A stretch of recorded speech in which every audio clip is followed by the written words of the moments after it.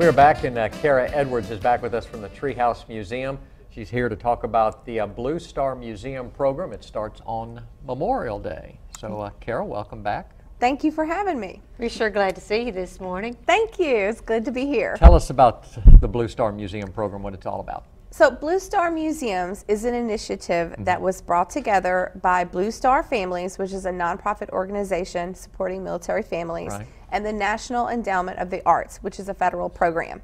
So, they put together um, a list of all these museums. There's 2,000 museums that participate in this across the United States that uh, afford active military and their families free admission from Memorial Day to Labor Day.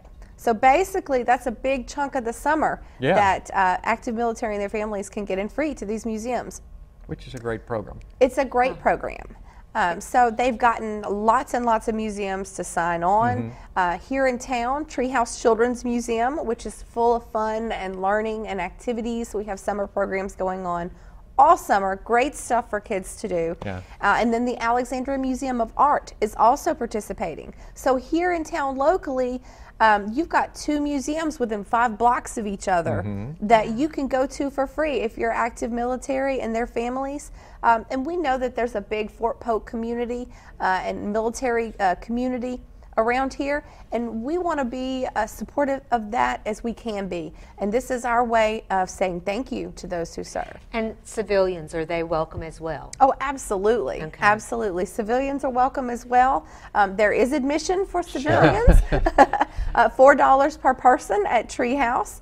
Um, but active military and their families, Blue Star Museum is specifically to benefit So them. those Fort Polk families that have a day off, they can come over here to Alexandria and check out both museums for free. Make a That's- day, kind of make a day of That's it. right. Make a day of it. Go mm-hmm. hit two museums. You can have a fun museum, you know, that the kids really enjoy. You can get some great art appreciation at Alexandria Museum of Art.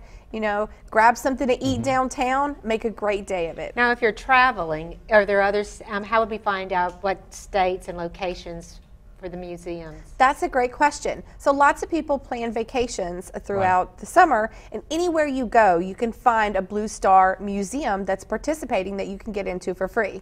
You can go to arts.gov slash Blue Star Museums to find a whole list. There's a map, and you click on your state, whatever state you're going to, and it will give you an entire list of participating museums that you can get into for free. Yeah, Definitely Kara- need to make that part of your travel destination. That's right. So work it into your itinerary. It's a fantastic program. is. um, it's a great way to say thank you to those who serve us. And Kara, this is a relatively new program. Already over 2,000 museums have signed up. Absolutely, and that's a big number, and that's a lot of museums. All across the United States.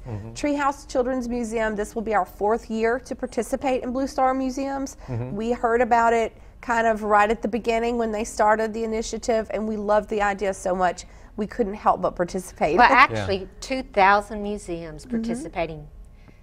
That's huge. Right, What a wonderful tribute. Absolutely. Remind people of your, your hours of operation for the summer. Yes, Treehouse is open Tuesday through Friday Right. from 9 a.m. to 3 p.m. and on Saturdays from 9 a.m. to 4 p.m. Check it out. Yes, Mostly come those check us active out. military personnel, you get into the Treehouse and the Alexandria Museum for free. Absolutely. Thank you, Kara, so much for joining us this morning on Good Day Cenla. Thank you for having me. See you later, Kara. Thanks. Okay.